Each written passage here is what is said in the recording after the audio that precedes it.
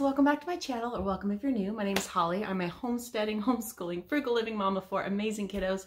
Today I kind of have a fun video for you. So as we're getting into winter, I've been kind of looking for things to help keep my kids occupied when they're inside more because we don't get a bunch of snow, but we do get a lot of rain. And I know pretty much wintertime, it's dark out. It's not as much fun to be outside and playing. So this company reached out to me to review one of their products and I thought, why not? I've been looking for this kind of stuff anyway, so might as well just give it a shot. This is a fluorescent drawing board.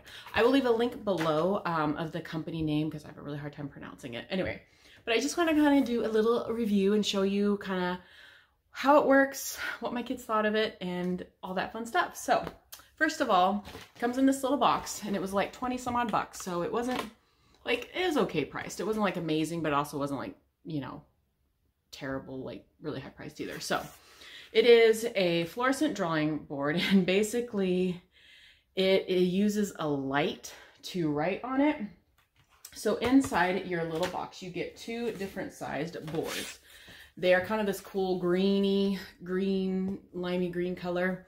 And they definitely work better in um, like low light. So hopefully I can get stuff to show up on you. But they also come with some really cool um, alphabet and symbols molds, and then also they have these really cute like puppies and kitties. I don't know if you can see that really well. But yeah, puppies and kitties mold. So how it works is you get these cool little lights. There is a little bit of a marker on the end of them, and then the light, you basically draw using the light. So to make one of these, let's say my son really likes this little dinosaur one. So I will put it on the little thing and you just shine it, find the button, it's really hard to see, but it lights up. I'm to turn off my ring light so you can see it a little bit better. So yeah, so basically you can draw on these boards. Using the little marker, you can write, see if I can get it to show up, and then you shine a little light on it and it makes it light up. It's really hard to see because it's so dark out. But anyway, so it's really cool. It's kind of a phosphorescent thing.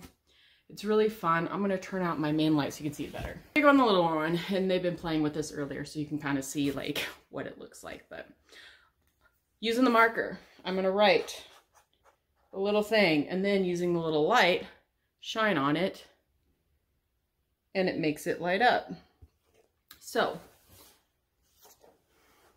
overall, my kids had a blast with it. They played with it for a long time and they really enjoyed it. I really like using the molds though. I feel like it shows up the best on the molds, but it's kind of a fun little thing. It kept them entertained for at least a good half an hour, I think, which for my kids is a lot. So I'm gonna go ahead and insert some footage of my kids playing with it to kind of show you how it all works and hopefully you like it.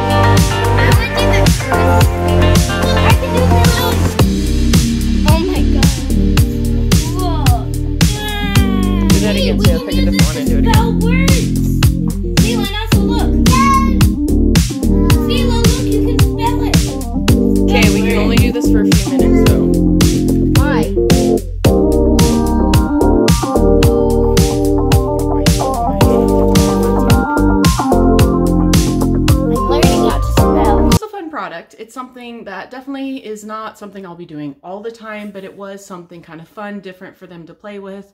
Um, my up to my three and a half year old, all the way up to my, my three and a half year old, up to my almost 10 year old really enjoyed it. So I think it's a pretty fun um, project thing for everyone to work on. But like I said, they're like $20. They come in two sizes. And yeah, and you let it sit in the like light and it fades away in like three to five minutes. So it's a fun thing.